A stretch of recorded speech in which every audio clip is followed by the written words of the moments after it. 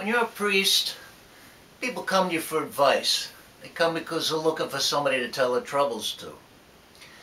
Every priest understands this. Every one of them. When you become a priest, you know what you're getting into.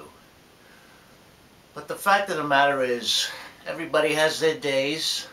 I'm no exception. And there's some days when I just don't want to hear it. telling you, the other day, lady comes up to me and she says, Father Michael, things are so bad at home. Uh, my husband, I feel my mad. Yeah, I said, yeah, yeah, yeah, you know, we all have our problems. Oh, well, Father Michael, you don't understand. Things are bad at work, too, and I can't stand the people. Oh, well, yeah, yeah, well, yeah, well, Father Michael, and then there's my daughter, and she's giving me a hard time. I say, shut up! No, I didn't, I didn't do that. I never, I never did that. But uh, I came close a couple times.